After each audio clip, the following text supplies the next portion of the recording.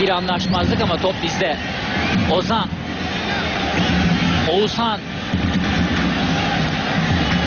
Sol kanat yine. O bölgede İshak. Caner top istedi önüne. İshak güzel hareket. İshak orta şansı geriye doğru. Gol! Gol gol gol. 70. dakika. Öne geçtik. Mevlüt affettirdi kendisini. Mevlüt Erdinç'in golü 1-0 yapıyoruz skoru.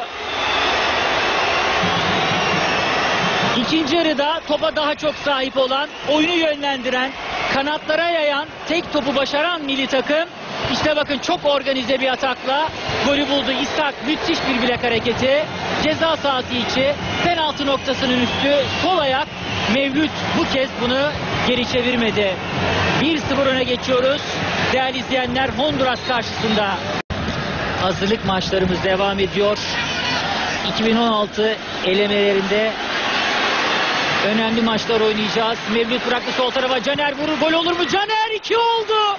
2-0 oldu 83. dakika. Caner Erkin attı. 2-0 öne geçiyoruz Honduras karşısında. Güzel gol.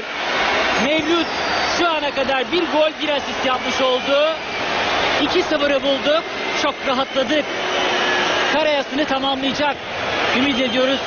Ameli futbol takımımız Amerika Birleşik Devletleri karşısında da buradan alacağı galibiyetten sonra Caner Erkin sol ayak o Süper Lig'de alıştığımız bildiğimiz gollerinden birine Caner Amerika'da imza atıyor Honduras karşısında.